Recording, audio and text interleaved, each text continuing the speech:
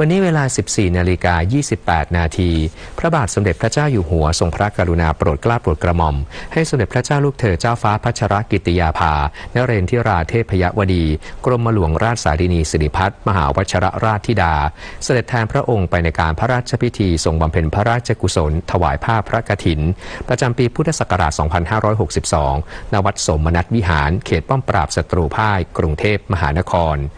วัดสมนัตวิหารนี้ พระบาทสมเด็จพระจอมเกล้าเจ้าอยู่หัวทรงสร้างพระราชอุทิศ แก่สมเด็จพระนางเจ้าสมนัตวัฒนาวดี พระอัครมเหสีเมื่อปีพุทธศักราช 2396 มีพระสัมพุทธสิริเป็นประธานในพระอุโบสถ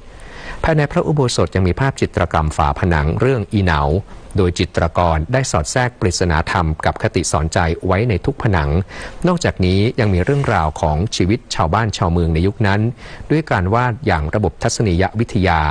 มีการผลักระยะใกล้ไกล อันเป็นรูปแบบจิตรกรรมแบบใหม่ ที่รับอิทธิพลจากตะวันตก มาผสมผสานกันอย่างกลมกลืนงดงาม